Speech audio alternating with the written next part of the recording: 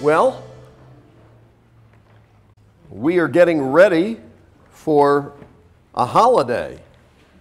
October 31st, we'll be celebrating the Reformation. Not jack o' lanterns, not uh, witches on brooms and black cats and things like that. But we're going to be celebrating on October 31st an event that totally changed world history. So let's talk about the background. Let's talk about what led up to that. The first thing you need to know is that Jesus came to save sinners. He didn't come because there were some good people who needed rescuing. Remember, the rich young ruler says to Jesus, Good teacher, what must I do to receive eternal life? Jesus says, Why do you call me good? Only God is good. Jesus wasn't denying his deity, Jesus was showing that young man that the rest of us aren't good. We may like to think we're good, we may like to feel good compared to other people, but Jesus says only God is good.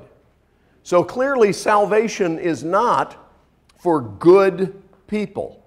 There were a lot of people who were very religious and thought they were good in Jesus' day, and they criticized Jesus for spending time socially at parties and things with people that were known as bad people. They were prostitutes and tax collectors. And here Jesus was at Matthew's house spending time with folks like that. That was very upsetting to the religious types. Jesus said, I'm a physician, and a physician is here for those who are sick. Now, some people might say, You're calling me sick? Yeah, he was calling us sick. But the good news is, he's the cure.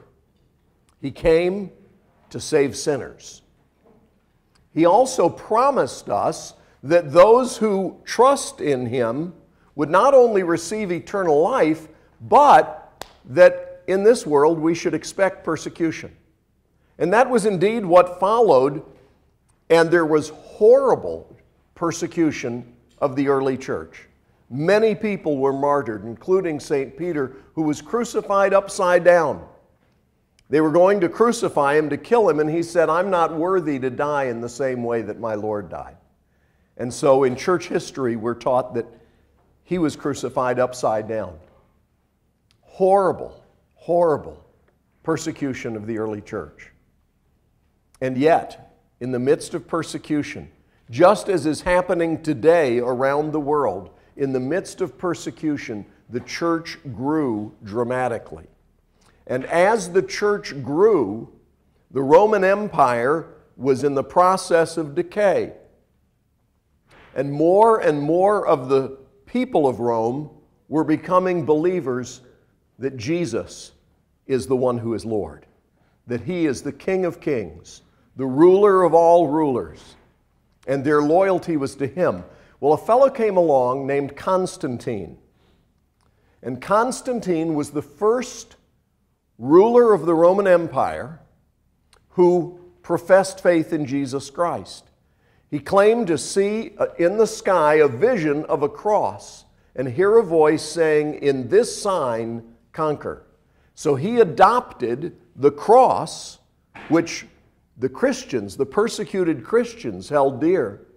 He adopted the cross as the symbol for his armies, for his empire, and he conquered the Roman Empire, became the ruler of the Roman Empire, and declared himself a Christian and declared not only that Christians were not to be persecuted any longer the way they had been, but that Christianity was the true religion. Well, my goodness, that seemed like a huge victory for the church. We're not going to be persecuted anymore. But it presented a new problem. Tons of people who were not Christians decided, yeah, me too. Me too. I'll be a Christian. And so the church was now flooded with people claiming to be Christian, professing that they had had a religious experience, they were now believers, they wanted to be part of this Christian thing. And it became very difficult to tell who's who. You have to get to know people in order to know whether or not they're really living out their faith. Have you ever encountered somebody? I remember a fellow in Knoxville some years ago who was a total swindler and liar. And he had a nice ichthus on his business sign and made much of the fact that he was a Christian. But I talked with him face to face about the fact that God promises that all liars will spend eternity in hell. And I said, based on our dealings, you need to really consider whether you're a Christian. Because the man was a liar, he was a swindler, he was a crook. And that is evidence that he wasn't really a Christian. Would you agree? It's not just what we profess with our lips, it's what we live with our lives. And you can say something that's not true. If I came in here this morning and said, hey, guess what? Publishers Clearinghouse just called and uh, I've won $100 million. And uh, after this is over, I'm going to go get my hair cut. W- would you believe me? I'm, no, because I'd be going, ah! Um, so, you know, if I'm just calmly telling you uh, that, uh, you know, I've won $100 million, but nothing's going to change, nothing's going to change. It casts real doubt on whether or not I have indeed received $100 million. Correct? Well, if you're saying that you have received Jesus as your Lord and Savior, and your life doesn't show any change, that's more unbelievable than saying you've won $100 million and your life hasn't changed. And there are tons of people who claim to be Christian and may even think they are Christian, but they don't know Jesus. So, around 300 AD was the game changing moment with Constantine, the first Christian Roman Empire. Well, now the church grew numerically and it grew financially and it became enmeshed with the government, and it was an interesting time for about 700 years. And there were beautiful buildings being built, some of which are still around, and uh, libraries being developed, and all kinds of amazing things happening in the name of Christianity. Not all of it was Christian. In 1054, there came a split within the church between the bishop of the East and the bishop of the West. The bishop of the East in Constantinople, the bishop of the West in Rome. The church split over a number of issues. But a whole lot of what was at the heart of those issues was power, status. The bishop of Rome saying, I'm the top bishop. Everybody else has to submit to me. Bishop of Constantinople saying, I'm not about to submit to you. Why should I submit to you? And so, for the record, the Bishop of Constantinople was not saying that the Bishop of Rome needed to submit to him. In other words, Constantinople didn't say, I'm number one. The Bishop of Rome said, I'm number one. The Bishop of Constantinople said, eh, no, not really. Now, there were doctrinal issues, there were differences in belief, differences that most people in the Eastern Church and the Western Church to this day don't uh, understand or, or believe. It's not like people in the West say, well, you know, they don't believe like we do. They believe this, we believe this. Yeah, it's like uh, they don't believe like we do. Well, what's the difference? Oh, I don't know. I just know that they're different, okay? And that's, that's pretty much where it stood for a thousand years.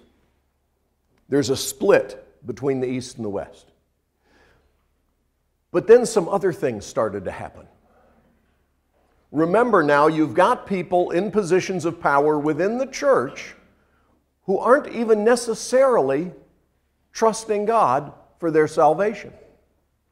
Many of them had been taught that they were saved by what they did rather than by what Jesus did when he died on the cross to save us. And so, a fellow came along, born in 1320. His name was John Wycliffe.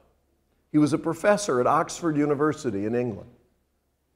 And Wycliffe was a great scholar, and in studying the scriptures, he began to see huge differences between what the church was saying and what the scriptures said. And Wycliffe said, I believe the scriptures. And I want other people to be able to read the scriptures since not everybody can read Latin, which was the scholarly language going back to the Roman civilization. Since not everybody can read that, I'm going to put the scriptures in the language of the people. And he did. He put it in Middle English, which was the language of the time.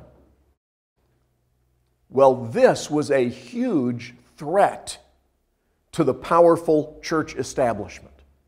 Because if the people could read the Bible for themselves, they would realize, as Wycliffe had, that what the church was saying was not what the Bible said. And so Wycliffe and his followers became a real threat to the church in England. Meanwhile, about 80 years later, in the middle of Europe, in a place called Prague, in the Czech Republic, there was another professor another scholar who not only learned about what Wycliffe had written, but based on Wycliffe's encouragement through Wycliffe's writings, he began to study the scriptures for himself too. What does it say? What does the Bible actually say? And he reached the same kind of conclusions that Wycliffe had a generation before. And he began to preach the gospel, and people started getting saved, and great things were happening. Lives were being changed but the powerful people in the church in the Czech Republic or Czechoslovakia or Prague and surrounding area, because that whole thing has changed governments many times. Many times. The people who were in power demanded that Jan Hus, John Huss, stop preaching the truth. He refused because it is the truth. And so he was killed. He was martyred. William Tyndale, 1536, died, having again said back in England, We've got to get the scriptures into the hands of the people. Because when they read the scriptures, they will see for themselves that Jesus is the only way of salvation. It's not about what building you go to, it's not about who your priest is, it's about Jesus, trusting Him.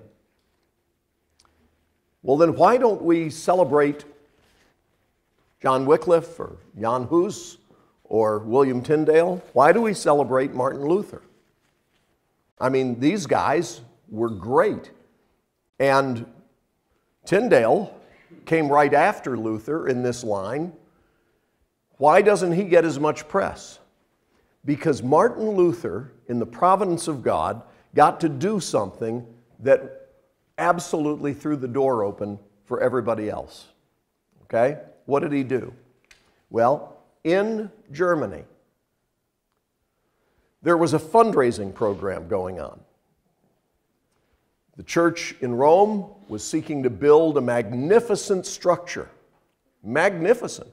It got built, it's there today. You can go see it. And in order to build that magnificent structure, they needed money. So they went out to where they had followers in places not just in Italy, but in places like Germany. And they told the people, you need to give. But the people weren't giving enough to satisfy the financial needs and ambitions down in Rome. So, they came up with a, an ingenious plan. And it's, it's totally genius as long, as long as you don't care about what's true. What they said is you've heard about people dying and going to heaven, you've heard about people dying and going to hell. There is another place. It's called purgatory. It's a place for people who aren't quite ready to go to heaven. They've not lived the way they should have lived. They've died with some sins unconfessed. They've died owing a debt still. And um, they're going to have to spend some time in purgatory suffering. And then, after they've suffered enough, they can get free and go on up to heaven. Now, if you have any loved ones who've died, you know that right now they're suffering because that's what happens. We can get them out. We can end their suffering and let them go right on to heaven if you'll give us some money. We will sell what's called indulgences. Okay? Indulgences. This is a a pardon. And, how, you know, I mean, if they're a really bad person, it's going to cost you more money. If it was grandma and uh, she was pretty good, she just wasn't perfect, okay? We can, we can get her out for less, all right? But um, if you love your grandma, you certainly don't want her suffering in purgatory. So give us your money and we'll give you a piece of paper that says she gets to go to heaven right now. And there were people who were falling for that. Now you say, why would anybody believe that kind of scam? Because they didn't have Bibles. They didn't have a Bible in their own language. They couldn't understand what the Bible said. They didn't even understand what the priest said when they went to church. When they went to the church trying to draw near to God, the priest spoke in a language they didn't understand. And so, who knows? I just want to do what I'm told. You tell me what to do, I'll do it. Just, you know, please. I don't want to be in trouble with God. I know there is a God. I can tell that this world didn't get here by chance. Life is not a mistake or random chance. It's, it's clearly a designer, I can tell. And, and I know in my heart that I've done things I shouldn't have done. I've, I've violated God's law, and, and I've been preached to that I, I need to get right with God. So tell me what I have to do to get right with God. And instead of being told, call on the Lord, ask His forgiveness, they were being told, give us your money. We'll make it right. We'll talk to God for you. And that was the climate in Europe in the early 1500s. And Martin Luther had been a part of that. He was a Roman Catholic priest. And he took it very seriously, but he had this great struggle within himself because no matter how much stuff he did that he was told he must do, he still could tell not all is right between himself and God. And then, as he studied the scriptures, he was blessed with a great intellect and a great education. And as he studied the scriptures, he found in the book of Romans the gospel of righteousness that comes from God. Take a look in Romans chapter 1.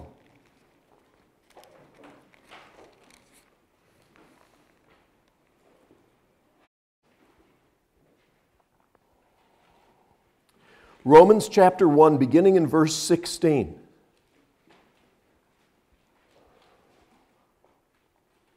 This was the passage that totally changed Martin Luther's life. The Apostle Paul, writing under the inspiration of the Holy Spirit, says this For I am not ashamed of the gospel. That word gospel means good news. For I am not ashamed of the good news, because it is the power of God for salvation to everyone who believes, first to the Jew and also to the Greek. For in it the righteousness of God is revealed from faith to faith, just as it is written, the righteous will live by faith.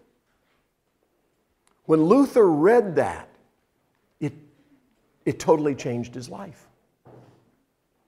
He began to understand what the Apostle Paul develops by way of argument in this letter to the church at Rome. And that is nobody is saved by our good works. Nobody. Paul says that more than once in this letter. No one will be declared righteous in God's sight by keeping the law. Why? Because we all break the law. We've all violated God's commands. All of us. It's not some of us. How dare you say that about me? Well, because you're breathing, okay? You're human. And therefore, I know that like me, you've messed up. I'm not singling you out for criticism. All of us, he says in this letter, all have sinned and fallen short of the glory of God. And the wages of sin is death. We deserve to be cut off from God. But God, who's rich in mercy, sent Jesus to die on the cross in our place. For God so loved the world that he gave his only begotten Son so that whoever believes in him would not perish, but have everlasting life. It's John 3:16. The next verse is like unto it. For God didn't send his son into the world to condemn the world, but so that through him the world might be saved. That's what changes everything. It's what God did, not us. We're not saved by doing something to earn our salvation. You couldn't possibly earn it. If my wife makes the, the best soup of anybody in the world. Sorry, Miss Claire. My wife is an absolutely fabulous cook, and her soup is absolutely fantastic. So, if we invited the whole ranch family to gather at our house and we're going to have my wife's soup, you'd all be in for a treat, especially when the weather gets cooler and you know it's, it's got that nip in the air. We say, We're going to have soup. My wife is making soup. Isn't that great? You may say, Well, I'm not a big fan of soup. Well, you haven't tasted my wife's soup, okay? I mean, it's absolutely fantastic. So, you're all coming up to the house. You're going to be there in just about 15 minutes. I'm doing, sorry, I'm having a little trouble uh, before you get there, but I'm, I think I'm going to be okay. And I go by in the kitchen just to check on the soup, and unfortunately, I'm sorry. Unfortunately, as I walk by where the big pot of soup is being. Oh! I throw up in the soup. Oh no, what'll we do? My wife says, Don't worry. I can add some more seasoning. Would my wife do that? Not a chance in the world. She'd say, What have you done? What am I going to feed all these people? They're coming here for my soup. You just threw up in the soup. We've got to throw this out now. And I say, No, no, no, no. I think we can save it. No, it cannot be saved. You can't add things to it to make it better. We'll water it down, okay?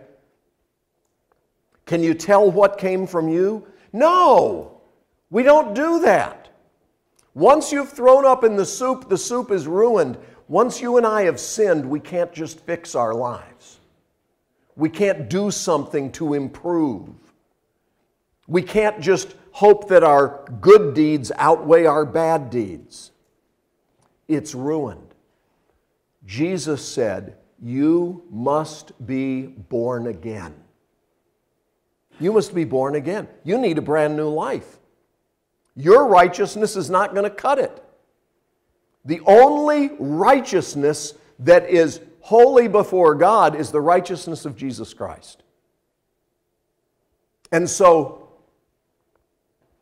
the Bible says our righteousness, our good deeds, are like filthy rags in God's sight. You and I can't fix the mess we've made. But Jesus doesn't come and say, All right, I'll show you how it's done, and then you imitate me, and if you do a good enough imitation of me, you can come into heaven too. Jesus says, I am the way, the truth, and the life. No one comes to the Father except through me. Jesus is the only way of salvation.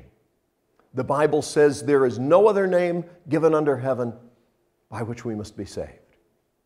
The Bible says there is one God and one mediator between God and man, the man Christ Jesus. He's the only way, He's the only one. I can't be saved by what I do, I can only be saved by Jesus. Luther recognized that and then, having trusted in Jesus Christ for his salvation, was absolutely appalled, horrified by what he saw the church doing to exploit the people of his community. The idea that the church would sell a piece of paper that was based on a lie, saying, if you give us your money, we can get your loved one out of purgatory. In fact, we can even sell it to you as an insurance policy. If you'll pay us enough money, we can give you an indulgence that'll get you out when you die. You can bypass purgatory, go straight to heaven. Okay? So here's, here's the deal Luther, who became angrier and angrier about the lies that were being told by the church in his day, wrote out 95 statements saying, These things are true, and anybody who disagrees, I'll be happy to debate them. And he took those 95 statements and he nailed them to the door of the local church, which was the bulletin board where he was the pastor. Okay? He wasn't vandalizing the church, he was the pastor of the church. And the door of the church was used as the bulletin board. This chapel we're building has beautiful doors. They are not a bulletin board. I don't even want scotch tape on the doors. Okay? But Luther nailed the 95 Theses to the door of the Wittenberg church, and people began to read them, and they made sense. Now, he did it on October 31st because October 31st was the night before, the day before, they were going to have the big sale.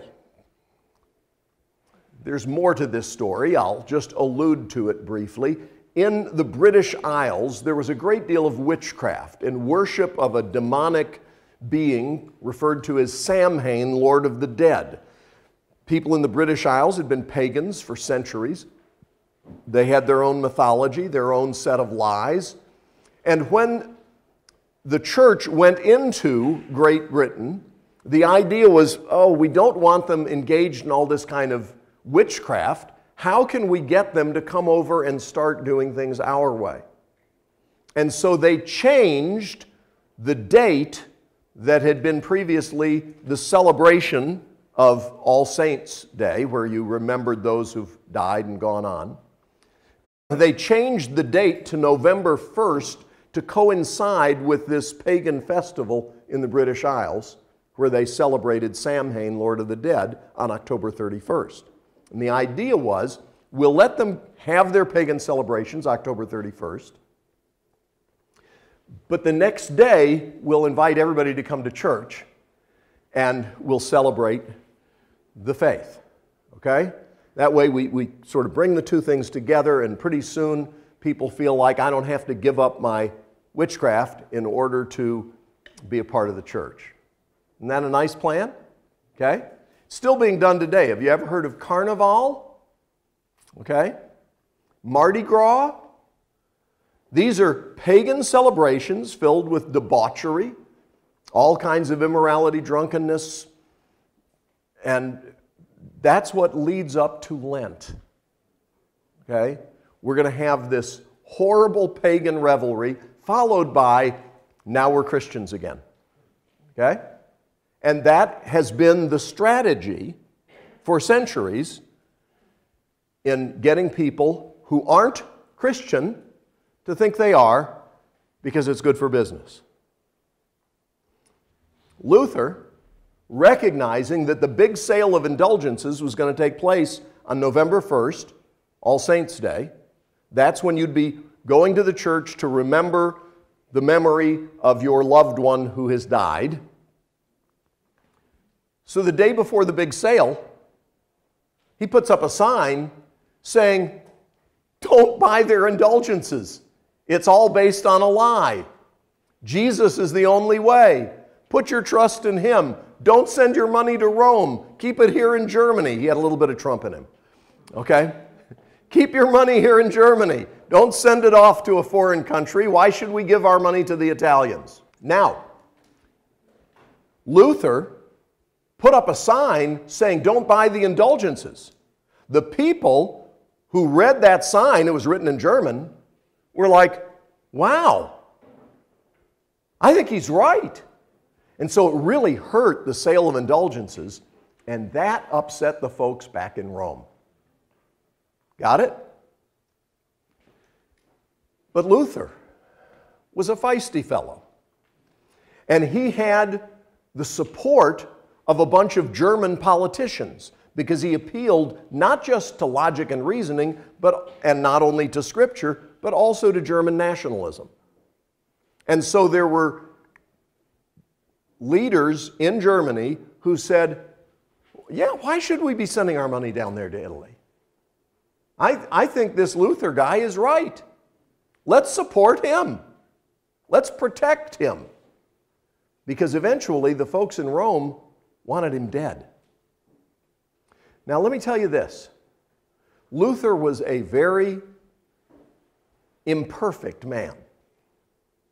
He had real faults, real flaws. But God used him to swing the door open for people to begin to question what they'd been taught, to read the Bible in their own language. Luther translated the Bible into German and made it available. And another fellow, who was not a theologian, he was just an inventor, had come up with something shortly before. It was called the movable type printing press. It was an invention in technology. The Gutenberg Press. Gutenberg was the place where it was developed. I've been to Gutenberg. And with movable type, they could print Luther's 95 Theses and his other writings, including the German Bible, in mass quantities and sell it inexpensively to the people of Germany. So you had technology coming along at the same time as this tremendous theological revolution. And let me tell you, the consequence of that stand by Luther was that people were emboldened all over Europe, back in the United Kingdom, in, in uh, Great Britain, all over, people were given courage and they were given materials. And you talk about a best selling book. Luther's debates with those who wanted to disagree with him became what everybody was reading, even in other countries in Europe. Okay? I, I don't know if you know this, but I'm, I'm, going to, I'm going to disillusion you. America is not the place where everybody knows the most. Okay? Esther speaks English. But of course, being from Germany, she also speaks German. Esther, I'm going to go out on a limb here. Do you speak any other languages? No, okay. Only two. Only two. Now, if she was Swiss, she would speak at least three. Okay? Very probably four. But she's just a German. Okay? So she doesn't need more than German and English. That's enough. But a person who speaks three languages is called trilingual. A person who speaks two languages is called bilingual. A person who speaks only one language is called an American. okay?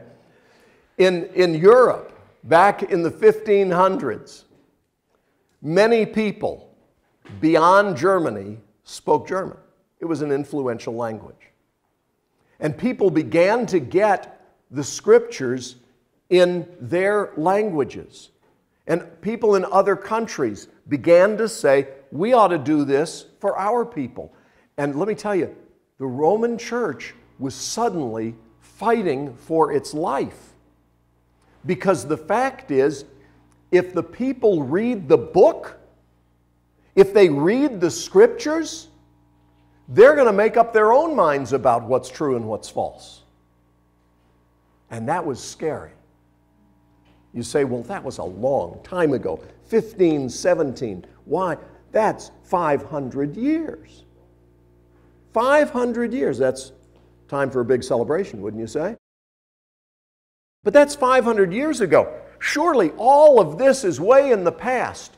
No, let me tell you, in my own lifetime, there's been dramatic change and reformation within the Roman Catholic Church. In my lifetime, the church has changed its position on things like whether or not we want people to be able to read the Bible in their own language, whether or not the church service is going to be in the language of the people. And there was a conference called Vatican II, and the Roman Catholic Church, to their credit, said, yeah, people ought to be able to read the Bible in their own language, and when they go to church, they ought to be able to understand what's going on. Let's start doing the service that way. Now, there are people like Mel Gibson, the actor, who says, no, no, no, keep it in Latin. Keep it in Latin. I don't want to know too much. Okay? But the Roman Catholic Church has, in my lifetime, changed their position on some of these things. That's great. About two or three years ago, there was even approval of a proposal that the Roman Catholic Church should honor Martin Luther for his contributions in church history. And it passed! Isn't that nice? I'm telling you this because our purpose in the celebration is not to attack any other group. Our purpose is to celebrate the gospel. Let me share with you two scriptures. The Apostle Paul in Galatians chapter 1 says that even in his day, there were people who veered away from what Scripture teaches. Verse 6 of Galatians 1 I am amazed that you are so quickly turning away from him who called you by the grace of Christ and are turning to a different gospel not that there is another gospel, but there are some who are troubling you and want to distort the gospel of Christ. But even if we, he says, even if we or an angel from heaven should preach to you a gospel contrary to what we preach to you, a curse be on him. As we have said before, I now say again if anyone is preaching to you a gospel contrary to what you've received, a curse be on him. And St. Peter, writing in 2 Peter chapter 1, says, Above all, you know this no prophecy of Scripture comes from the prophet's own interpretation. Because no prophecy ever came by the will of man. Instead, men spoke from God as they were carried along by the Holy Spirit. St. Peter says if you want to know what to believe,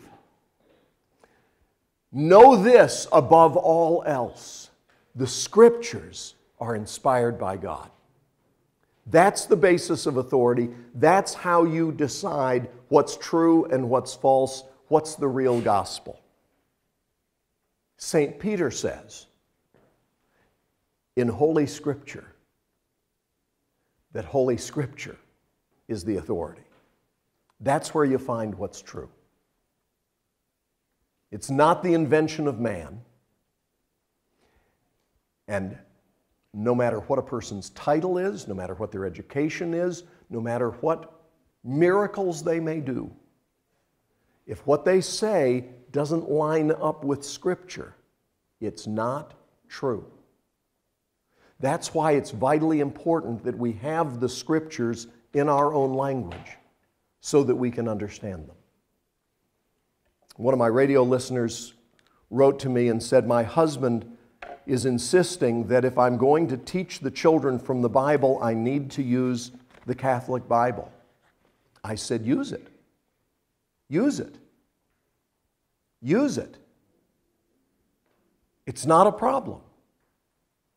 If you are listening today and you're wondering, uh, how do I know which Bible's right?